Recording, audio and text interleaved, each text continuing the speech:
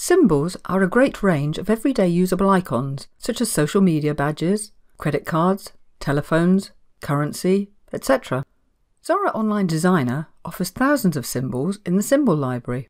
You can either insert them into your text documents, where they will behave just like a regular font, or use them as a standalone scalable graphic, which you can drag out to any size.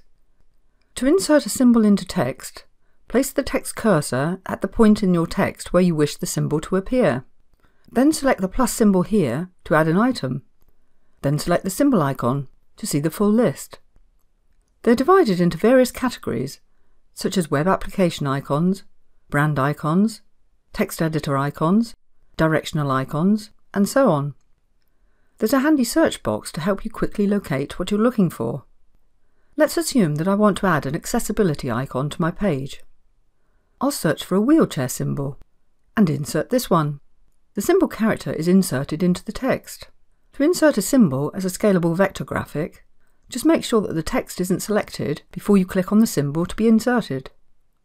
The symbol will appear in the centre of the workspace. You can treat the symbol just as you would any other shape.